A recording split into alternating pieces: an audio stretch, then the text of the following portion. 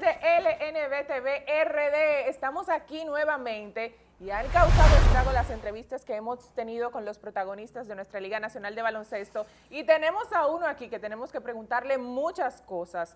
Considerado, a propósito de una encuesta que hicimos hace pocos días, como uno de los mejores jugadores en la historia de la LNB. Estamos hablando, Jorge, de... ¿De mí? No, ¿De mí? No, no he llegado a ese nivel. Saludos, Jorge. Saludos, Susi, saludar también a nuestro querido invitado. Vamos a aprovechar el amplio ya para que ustedes estén, para que se desvele el misterio. Con nosotros, nada más y nada menos que Gerardo Suero, los dos puntos más seguros de la Liga Nacional de Baloncesto, la liga que rompe con nosotros. Gerardo, ¿cómo estás? Mi hermano. Saludos, amigo. Pero hay que darle, ¿Cómo no, estás, tú, tienes que pararte y darle un abrazo, Susi, entonces, no, no podemos tener. Gerardo, eh, bueno, sí, aquí yo... No, a aquí, Gerardo. aquí es Sí. algo increíble. Incluso ella peca en injusticias, porque ha llegado a decir que tú eres mejor que Adri, oye. Oye, el, el de Adri es Jorge. No, pero- Ah, me di cuenta ahí, me di cuenta. Gerardo, eh, qué bueno que estás con nosotros. Este, de verdad, cada vez que tenemos una entrevista o un programa, en los comentarios los fanáticos siempre dicen, ¿cuándo van a traer a Gerardo? Gracias por aceptar la invitación de estar aquí con No, nosotros. gracias a ustedes por, por invitarme. A corroborar con lo que tú dices, mami siempre me lo dice de, de Susi. Susi, Susi te defiende mucho y Sí. habla bien de ti. Mami siempre. Te el lo dice tú. Sí, porque la Sí. suegra, oye, la suegra No, tiene... No, Jorge que te dice, Jorge que te dice, que te da Nah, funda. calentón. no, no, no, pero es mío, es mío, y la doña también. Y tu hermano también, Juan Miguel Gerardo, de verdad, ya, eh, ya medio en broma, medio en serio, muchas gracias por aceptar la invitación. Nosotros la semana pasada tuvimos la oportunidad de entrevistar a Manuel Guzmán y entendimos que lo que sigue es dirigir todo nuestro enfoque hacia ti para que hablemos de tu desarrollo dentro de la Liga Nacional de Baloncesto y cómo ves la liga hoy en día. Creo que la primera pregunta, lo obligado, terminas tu proyecto en la NCAA con expectativas de NBA en ese momento y fuiste draf- drafteado en la LNB. ¿Cómo, fue ese proceso para ti? ¿Qué expectativas tenías de la liga en ese momento? Mira, primeramente, yo, creía que a mí me quedaba un todavía en, la universidad. Algo que pasó, que siempre lo he dicho en varios programas eh, varias entrevistas con la selección. No seguí la universidad, elegí ir a, a jugar con la selección. En la universidad me dieron o la selección o, o Tú eliges. tú elegí. Yo dije, no, la selección. Y, y por eso dejé mi universidad, me falta otro año. Ahí entro, después de la selección no pude volver a la universidad ya porque ese verano lo cogí para estar con la selección y no estar en la universidad, un error que cometí, pero... ¿Lo ves así hoy en día como un error? Sí. Cosa que- ¿Te cosa que arrepientes me- de haber tomado esa decisión, Gerardo? Cosas que me arrepiento en mi vida, que son muy pocas, esa es una. Wow. Esa ¿Qué? es una, sí. Me imagino que del donqueo que le hiciste a Manuel Guzmán. vamos a ese donqueo, vamos a ese donqueo, producción, para que ustedes vean. Porque yo me arrepentí de verlo. Yo, no, yo, me- yo me imagino que estudié hacerlo. Pero, pero eh, de verdad, hay muchas cosas que, que se le van presentando a uno sobre la marcha que uno dice, caramba, debí tomar otra decisión, pero llegaste al LNB. ¿Qué tal la experiencia? ¿Cómo viste el nivel de la liga en ese momento? No, sumamente alta, muchos jugadores con talento, muchos jugadores de, de- de nombre, ¿tú ¿me entiendes? Muchos refuerzos eh, de mucha calidad. Eh, me acuerdo que Alberto eh, Rodríguez fueron allá a verme a Puerto Rico, yo estando con la selección, antes del draft, no te vamos a coger, si no te coge, si no te coge, creo que el primero fue Leones, que cogió el primer pin, no sé, Sí. creo. Y te escogió Titanes a ti. Me cogió Titán, exacto. También me acuerdo que Julián, cuando eso estaba con, con los metros, Con los metros. me dijo, si no te coges, nosotros te vamos a coger. Yo, no, dale para allá, está bien, ¿tú me entiendes? Y, pero pasó así. Ahí comencé a jugar con los Titanes en el 2012. ¿Cuáles jugadores recuerdas compañeros en ese 2012? Estaba Kikima, eh, estaba Cristian Dalmao, ese ya fue su, creo que su último año eh, reforzando aquí. Eh, Franklin, eh, que juega todavía ahora en Puerto Rico, esos son los, refuerzos. ¿Tú ¿Me entiendes? Estaba, estaba eh, este otro refuerzo puertorriqueño, Mekel, De, pero se, se me va, se, se me pero va la- de Puerto Rico, ¿no, no era Cristian Dalmau que estaba con ustedes ahí? Pero Sí, ah, pero que había se- muchos boricuas en ese Sí, sí. tiempo. Había un éxodo, sí. Yo creo y- que el dirigente también era boricua También en ese eh, tiempo, era Nelson Colón, ¿no? Nelson Colón. Nelson Colón él- fue el dirigente en ese momento. Entonces, que, que normalmente esos dirigentes cuando vienen traen refuerzos no de Puerto Rico. Walter Hodge para ese tiempo también. No, no, con nosotros no. Era Benjamín Colón, era el que estaba con usted, Benjamín Colón era nativo. nativo. Sí. En Entonces el torneo bien, viste un gran nivel, Bueno, decidiste ah, Luis adueñarte. Flores también estaba Ah, Luis Flores, pero tenían sí, otra buca sí, ustedes. Sí, sí, era un buen equipo. ¿Tú tenías expectativa de, de adueñarte de la liga? O sea, tú siempre, quisi- no porque tú en la universidad eh, eh, eras un prolífico anotador. Cuando llegaste, tú sabes que no, no es normal un novato con tanta capacidad anotadora Sí, como sí. la tenías tú en ese momento. ¿Querías robarte el show en tu primera temporada? No quería robarme el show, pero quería hacer, hacer lo que yo sé hacer, ¿tú me entiendes? Gracias a Dios así lo pude hacer, eh, valga redundancia.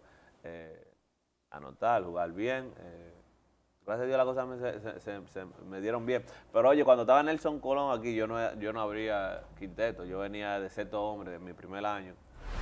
Después como de seis, siete partidos, cambian y traen a, otro puertorriqueño, el, el profesor de Rosario, que era... Sí, el de las camisas. eh, Coloridas. Calorías. Sí, mío personal y él me, me pone a, a, a abrir quinteto. Ahí ya fue más fácil, ¿tú me entiendes?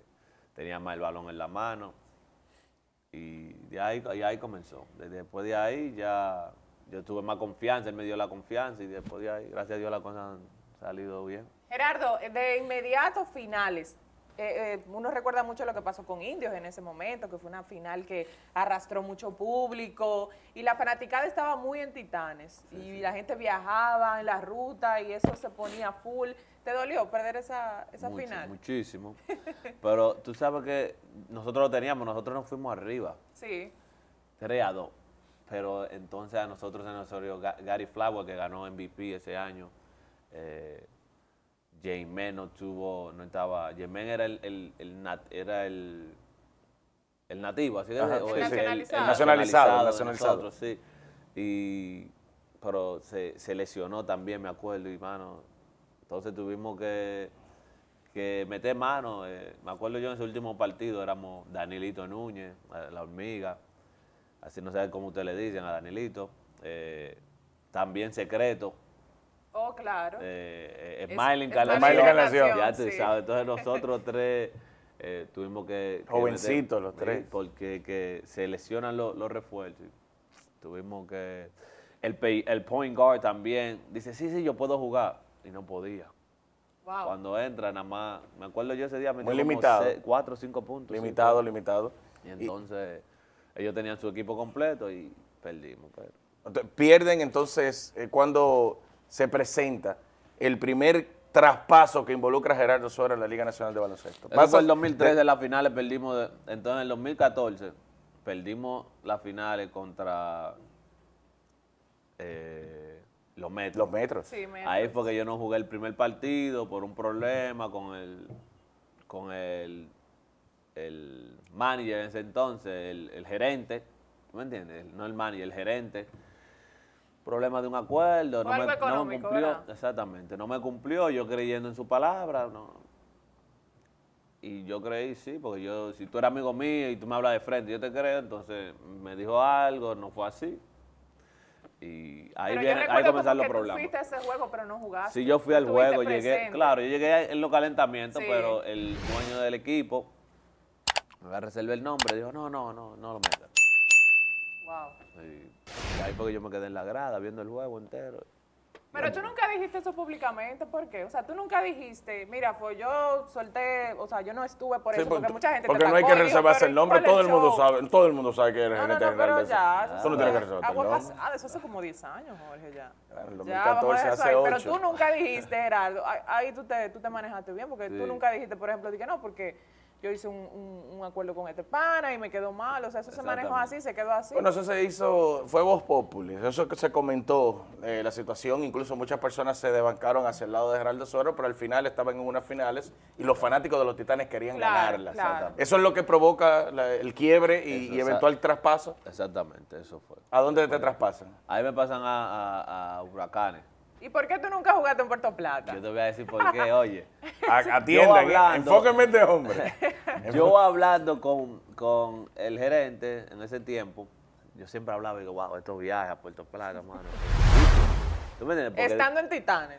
Sí, porque nosotros hablábamos y decían, "Mira, lo ti- eh, ir a Puerto Plata ir a la Romana, o el que juegue en esa, en esa sede tiene que viajar, porque no está, yo estoy aquí en la capital, yo estoy- tengo... De aquí tú te vas para exacto. ¿Tú me entiendes? Pero ir a Pu- y, y él Eso fue lo primero que él hizo. Ah, lo voy a cambiar, lo voy a mandar para allá. Para que él diga que yo soy el que sé. Y yo, no, pues no es así.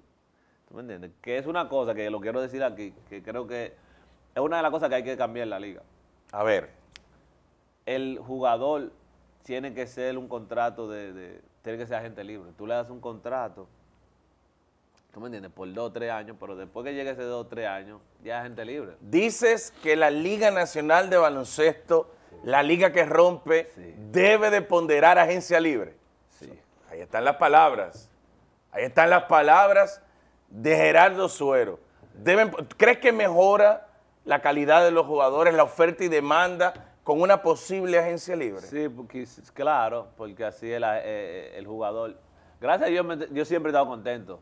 Sí. Aparte de ese cambio que me hicieron huracanes, sí, Mm. siempre he estado Mm. ¿Tú contento. estás cómodo con el tema de, de cómo se maneja económicamente? No, Económicamente, De eso sí. que estamos Ah, hablando. Siempre he estado, Claro. siempre he estado contento, siempre. Ah, pues bien. ¿Tú O sea, tú, tú no jugaste en los huracanes, pero tú siempre estabas contento. Eso fue lo único, porque fue o- o, el que él eh, quiso medir fuerza, como te lo voy a hacer de maldad, ¿tú me entiendes? Pero no era que yo tenía algo en contra de, de- de Puerto Plata, de esa ciudad. Yo voy muchísimo a, a vacacionar, voy a los hoteles, voy a Villa, allá, ¿tú me entiendes? Yo nunca tuve nada. Es más, yo fui a jugar superior allá ese mismo año.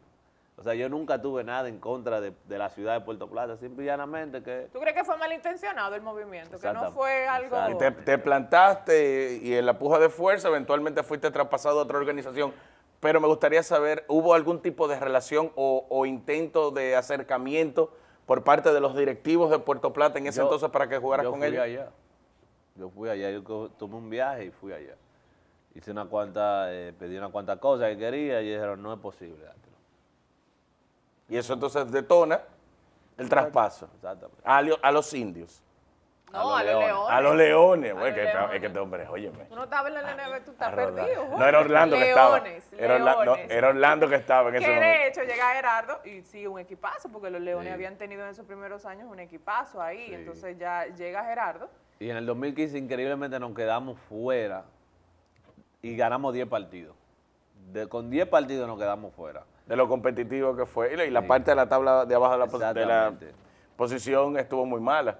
Por eso se vieron varios equipos con tantas victorias. Exactamente. Entonces 10 a 10, 10 ganados y 10 perdidos. Y, y en la otra división un, un pa- un equipo que solo ganó 9, pero clasificó. En ese entonces clasificaban los primeros 3 y, y De, uno... de circuitos. Exactamente. ¿Pues te gusta este formato más que el de circuitos? ¿O qué? Sí, este formato está bien. A Porque ya se pueden enfrentar equipos que Exactamente, no- sí. No, y, y ya los que ganan eh, realmente acumulan esfuerzo más adelante. Porque antes con circuito se podía dar que un equipo débil Sí. llegaba a la final y lamentablemente uno fuerte y que podía generar atención en la final no podía. sí. Por el tema de los esquemas del circuito. Sí, pero ahora si en una conferencia, vamos a poner en la, al norte, están eh, los mejores equipos son, son están de aquel lado, ahora al final llegan los mejores equipos. ¿tú me Exactamente. Entonces, E- creo ese- que Esa es una de las ventajas de los leones que recuerdas positivo. El grupo, el entrenador, eh, David, eh, la gerencia, el Chad Sander, me acuerdo, que era bien lo que uno necesitaba, siempre estaba ahí, el cuerpo técnico, estaba Santos Ceballos, estaba... eh, eh, Julián estaba ahí. Sí, Julián, Sí. pero no, pero... Eso es lo malo de Abraham, Leo Messi. López. Abraham, Abraham Dice. Abraham, Abraham Dila Dice. también Ah, ya, estaba ya. ahí, estaba comenzando, ¿tú me entiendes? Pero eh, eh, Y- este hombre mete la pelota, pero hay que darle algo pa- para la No, memoria. es porque- son muchos nombres. Exactamente. 2016. Eh, ahí pe- eh, perdimos el año, entonces en el 2019 ven- venimos enfocados, venimos fuertes y ganamos los primeros cuatro juegos, me acuerdo yo, yo estaba teniendo una temporada buena, muy buena. Estaba promediando el líder en puntos, estaba... Y ahí me rompí el pie. Sí. Ahí me rompo el pie, nosotros en primer lugar. Después pues, el equipo siguió, siguió, llegó a las finales, jugué en las finales, gracias a Dios tuve la oportunidad, aunque sea de aportar dos, tres, cuatro puntos por, por partido. Y ganamos. Limitado con- por, por el tema de la recuperación de las lesiones. eh, pero eh, le ganan a los metros, que ya tú lo habías enfrentado en otra conformación. Y un núcleo que tenía al que para mí ha sido el mejor jugador, por mucho, de la Liga Nacional de Baloncesto, Adri de León, Eloy Vargas. No, pero, pero- Eloy Vargas, eh, entre otros. Entonces, ese enfrentamiento, estaba Víctor Liz. Sí. Ese enfrentamiento te iba a dar la oportunidad tú en salud de medir fuerzas con alguien que independientemente de cómo ustedes se lleven fuera del tabloncillo, Sí, sí. ha sido tu adversario profesional. Vuelvo y repito, no a título personal, Sí, sí. sino todo el que habla de Gerardo Suero, de una forma u otra, a nivel, a nivel competitivo, menciona Víctor Lig y viceversa. Ver a, tu equipo eh, tratando de darlo todo y, suplir una ausencia que tú tenías porque te estabas recuperando y al fin vencer a los metros, ¿fue satisfactorio para ti? Claro que sí, cada vez que tú puedes, que tu equipo sale victorioso, tú sientes sa- satisfacción, ya tú seas aportando tu granito de arena y tu equipo gana, tú te sientes sumamente contento. Que es una- algo que yo quiero decir, eh, eh, saliéndome del tema. Hay mucha gente que me dice a mí, no, Gerardo, que tú, que mete 20, que nada más hace esto, que nada más hace lo otro, y esta. ¿Qué? Sí, hay mucha gente que dice que, ah, mete 20, sí, pero que esto, lo Sucia. otro. ¿Tú me No, entiendes? tú. mete 20, mete esto, que yo qué, que no da las asistencias, que esto, que lo otro, que no aporta. Entonces, ganan los leones. ¿Tú me entiendes? Yo no aporto tanto como yo aporto lo que Como podía. tú normalmente me entiendes? lo que podía. Y ahí entonces, ahí no el equipo, ahí dice, ah, no, Gerardo no hizo nada. ¿Tú me entiendes? Pero entonces cuando yo la meto, Fue por Geraldo. ¿Tú me entiendes? Dice, no, eso es lo único que él mete, que si yo qué, que el equipo, que si yo cuánto. Entonces, cuando no la meto, ahí no dice, no, él, él estaba, pero él no, no aportó. ¿Te, no". te afectan las críticas? Antes sí. ¿Ya te dejaron de afectar las críticas? Ya, sí, hace Cuando tú dices años. antes, porque yo me he topado con videos tuyos respondiéndole a, a críticas, no, no a alguien puntual, sino a algunos rumores específicos, y, y siempre, me, me ha- siempre he tenido la inquietud, y qué bueno tenerte ahora de frente, Sí. ¿te afectan las críticas? ¿Te, te afecta que se ensañen en contra tuyo los no, no, fanáticos? No, no me ha afectado porque yo siempre he estado seguro de lo que yo hago y de la persona que soy, el jugador que soy. ¿Tú me entiendes? Pero yo cometí el error de contestarle a la persona. ¿Tú ¿Me entiendes? Tú me dices, Y ah, ya yo ellos lo contesto. hacían para buscar esa respuesta. sí. Exactamente. Entonces, eh, en el 2017 creo que fue la última que, que- que- que le respondí eh, contra uno, un periodista y después con cosas de la selección, que le respondí, creo que fue 2018, pero después de ahí ya, que tengo 3, 4 años que ya, que la gente diga lo que diga, pues yo sé quién, quién soy, sé lo que, lo que soy capaz de hacer. Gerardo, de Leones pasas a Indios. Y ahí te toca también eh, toparte nuevamente con David Díaz, que decían que tenían muy buena química. Él siempre dijo en entrevistas antes de tu ir a los Indios, cuando estaban en los Leones, que él le gustaba mucho tu forma de juego. Sí. Llegas a los Indios, tienes la oportunidad ahí de jugar con tu hermano también y un super equipo. De los equipos por los que tú has pasado, incluyendo ahora los Soles también, ¿cuál ha sido el mejor equipo? No en, en cómo se llevaban ni nada de eso, sino en nombres. El mejor equipo conformado que tú entiendes que tuviste. eh, los indios y wow, es que es que difícil porque mira, nosotros teníamos un equipazo cuando eh, el 2014 con Gary Flower, pero entonces se lesionó. Estaba James Mann, también a la final se lesionó. Eh, entonces en el 2016 teníamos el equipo de los Leones. Sí. Ese mismo equipo, imagínate, y, y- y- y estaba yo también lo- al principio. Y nosotros estábamos 4 3 0. ¿Tú me entiendes? Era una- nadie sabe si hubiésemos roto el, el- el- el récord de, de más victorias. Y entonces los indios también tuvimos un equipo. Eh, entonces, no, no te sé decir. Al final, en los indios fue eh, el cambio de los refuerzos. No, no, no llegamos a tener un refuerzo que, que se compenetrara con nosotros, que nos ayudara, que sabiera cuál era el rol de él. Creo que eso pasó. Entonces en el 2000, dime. No, no, no. Entonces en el 2018 creo que teníamos un buen equipo, pero entonces al sacarnos a Juan Miguel, el alma, la defensa, Sí. ¿tú me entiendes? Eso, Las grandes conformaciones a nivel de percepción no, no ganan. Porque si ganan, se supone que ganen porque tenían un equipazo. O sea, no, no, no se la dan. Si ganaron, bueno, se supone que ganen porque tienen un equipazo. sí, Y si pierden, es un gran fiasco. El año pasado hubo una conformación antes del inicio del torneo que se entendía que era campeón en el papel. ¿Sabes de qué te hablo? sí, claro. Tenerte a ti, a Juan Miguel, a Mike Torres, a Edward Santana, Ron Roberts también. Ron Ron Roberts. Roberts, e- esos cinco jugadores más los que venían desde la banca, esos jugadores en el papel daba campeonato. Sí, Y terminó siendo un fiasco. sí. Igual te pasó, Gerardo, igual te pasó hace unos años atrás ¿Cómo? Juan Miguel Francisco García. Sí, Tú, pero- no, tú- eso te dije, en el primer Sí. año fue un equipazo, pero no, al Pero no final los cuaja. refuerzos. Y lo bueno es, lo bueno es que en YouTube están los videos y tú lo puedes ver los juegos, tú puedes ver, ¿tú me entiendes? Sí, pero, pero en el año pasado, ¿qué fue lo que pasó ahí adentro?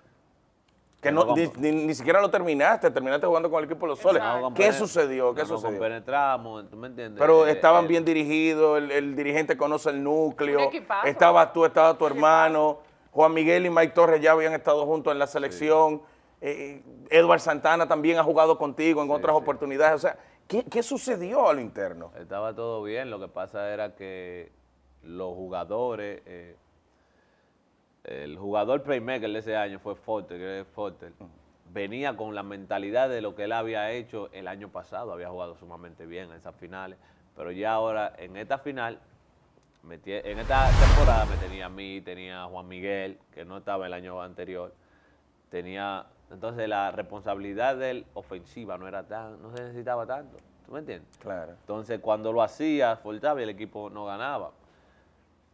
Habían otros jugadores también, eh, Wiggins, uno que tú, tú sabes, a mí no me gusta hablar eh, de jugadores. No, porque tú estás explicando lo que sucedió. Tú lo ves, el- el- el- el- tú ves los partidos y, y te das cuenta de que no había química. Yo te ¿Tú me sentía entiendes? desmotivado. P- Puedo estar equivocado, pero el lenguaje corporal tuyo, cuando se daban esos errores, balones perdidos, te, te sentía desmotivado. Es que Tú tenías quizá- expectativas altas también el año pasado. Claro que sí, nosotros ganamos, pero entonces al ver... Y ahí hay asistentes, dirigentes que saben que, que cuál era el, el- el punto, cuál era el, el- el cambio que había que hacer. ¿Tú me entiendes? Y que después que yo me fui lo hicieron. Exacto, Pero- ahora hay, eh, hay otra cara, hay otro dirigente, hay, Hay otro gerente gerencia. general. No, Va- pues va por ahí el asunto. Yo digo en el mismo Ah, temporada. ya, lo yo- dijiste, ya lo dijiste, no, No, lo no, arregles. yo digo en la misma temporada cambiaron. Sí. Cambiaron a, a Foster, ¿tú te acuerdas? Ah, Cambiaron claro. los refuerzos, eso es lo que yo te estoy diciendo. Porque ellos decían que la culpa era mía. Hubieron un- unos cuantos jugadores que se ¿Se reunieron, amotinaron? ¿Qué? los refuerzos eh, principalmente. Y- Señores, los refuerzos vienen a casa ajena a amotinar. Oh. No, pero eso, lo malo no somos nosotros, lo malo es lo, lo que lo permiten hacerlo. Y creerle, pero...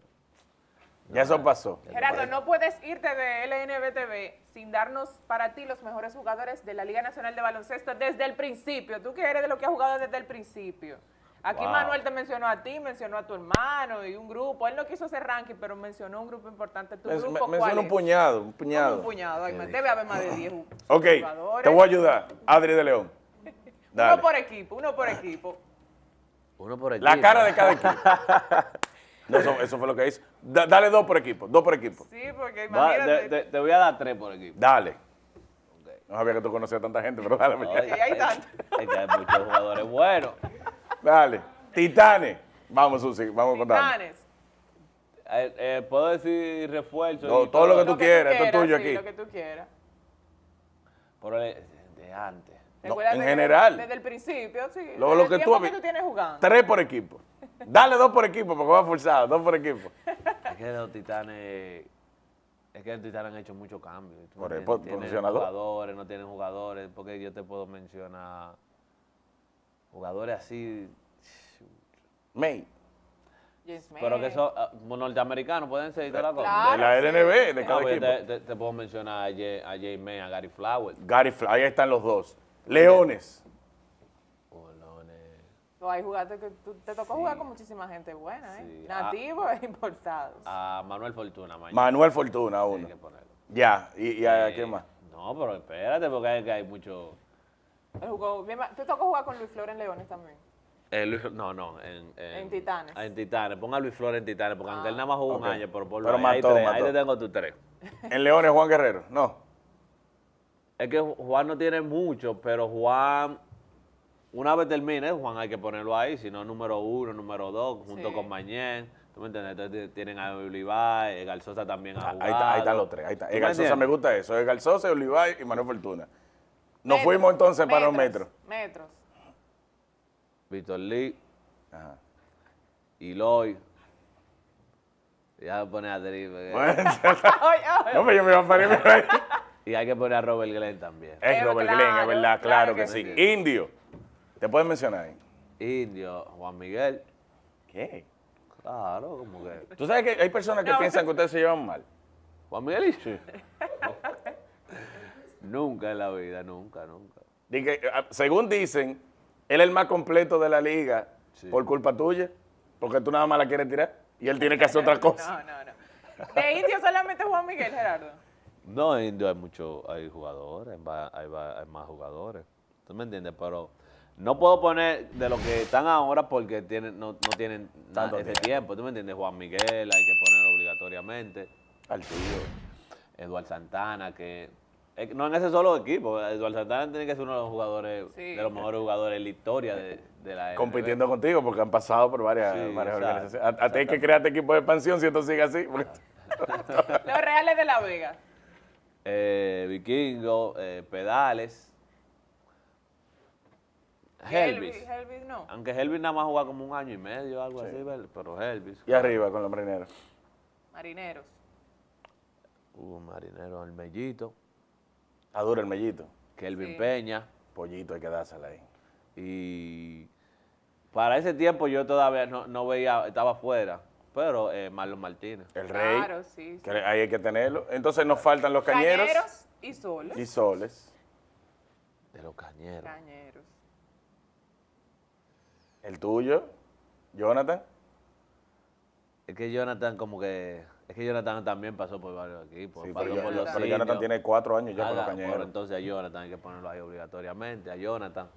Eh, sé que a Colomé lo van a poner tarde o temprano, ¿tú me entiendes? Nada más tiene un año, pero ahí lo... eh, ¿Te gusta el crecimiento que estás viendo de él en la liga? claro, y de, todos los, y de todos los otros jugadores. O sea que Tienen mucho porque están produciendo, pero ellos tienen muchísimo que, que mejorar. Sole. No te puedo mencionar tú, Gerardo. Eh, Marco Martínez cuando estaba con los goles. Sí. No lo puede... El mejor capitán de la selección, de la historia. No te pregunto, te pregunto. Yo no sé, yo no sé. Pero sí o no, eso sí o Pero no. deja que acabe con los soles. Está bien, tú me dices ahorita. Jack. Jack, eh, Ey, tú no mencionabas a Guzmán y te mencionó a ti. Cebollita, Hay que darse la cebollita. ahí. Cebollita. Es cierto. Manuel Guzmán, ¿en qué equipo lo pongo? Donde tú quieras. Porque Manuel tuvo el Loco Colo, Tuvo en Leones. tuvo el Leones, ganó con. Leones, Soles. tuvo Titán, con, sí. con Soles y ahora está en Titán. ¿En cuál de esos te lo pongo? Porque en cualquiera de esos que tú me digas yo te lo voy a poner. Pero está. eso es lo importante, En cualquier equipo está. que tú me digas, dime un equipo que, que tú No, identifiques. no, está bien. Una pregunta para terminar. Pero, ¿y qué? pero llévate a Gerardo No, pero casa, dame, dame este- dime un equipo para identificar a No, no, Manuel y te lo voy a los poner. soles, ahí. los soles. Ya, ya, ya, ya, suelta eso. Pusiste a Adri, que fue lo que me interesó. Mira, para cerrar, vi un run run, y ustedes también, que esto no me lo estoy inventando, en las redes sociales de algunos jugadores. No voy a mencionar nombres porque me llevo muy bien con Eloy Vargas. Diciendo, no, Qué no, eh, fuerte. diciendo que la liga debe de durar más tiempo. O sea, la temporada regular, la postemporada. O sea, el tiempo de la Liga Nacional de Baloncesto debe durar más tiempo. ¿Cuál es tu opinión sobre eso? Claro que sí. Claro que sí, porque cuida eh, eh, el evento, cuida la calidad de- de- del torneo, porque no es lo mismo tú jugar cinco partidos en nueve días que tú jugarlo en 15 o en 20. El jugador se recarga más, tiene más energía, va a dar, dar una mejor actuación. ¿Tú me entiendes? La gente lo ve y dice, ok. Entonces tiene que obligatoriamente tiene que alargarse. el- si quieren poner un, un- un- un salario, un top, que ya lo existe, que ya lo hay, ¿tú me entiendes? Si pusieron el cap salarial, entonces vamos a alargar la, la liga. Y vamos a hacer la agencia libre para los jugadores. O sea, que tú propones adelante al presidente de la Liga Nacional de Baloncesto, licenciado Antonio Mir. Fijo con este programa. Super Suero dice que la liga debe durar más tiempo y que debe de haber agencia libre. Y si él lo dice, yo se lo creo, porque después de Adri, Ahora, Gerardo eh, doble A, ¿verdad? Gerardo es de lo de 12 capas arriba. Bueno, señores, gracias a todos por Gracias, estar en sintonía con nosotros. Nos vemos en la próxima.